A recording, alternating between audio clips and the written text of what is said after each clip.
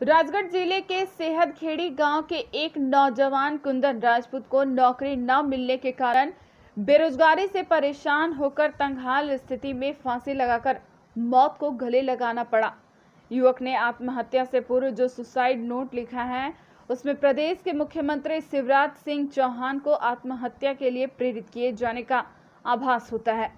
उसके विरोध में आज नेपानगर विधानसभा अध्यक्ष अरशद खान के नेतृत्व में युवा कांग्रेस कार्यकर्ताओं ने मुख्यमंत्री शिवराज सिंह चौहान पर एफआईआर दर्ज कराने को लेकर पुलिस थाना खकनार में थाना प्रभारी के पी धुर्वे को ज्ञापन सौंपा।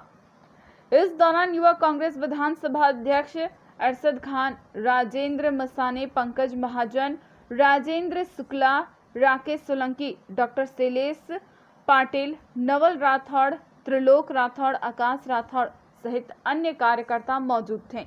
खपनार से रमेश इंगले की रिपोर्ट।